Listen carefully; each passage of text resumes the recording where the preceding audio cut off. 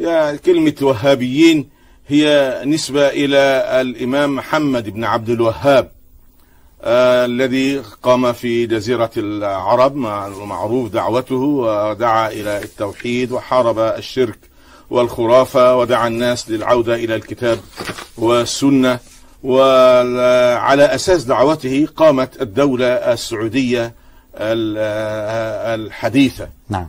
وهو رجل حنبلي. يعني الحقيقة الناس بيقولوا وهابية ولا ليس هناك يعني مذهب وهابي ولا عقيدة وهابية. الشيخ محمد بن عبد الوهاب رجل حنبلي.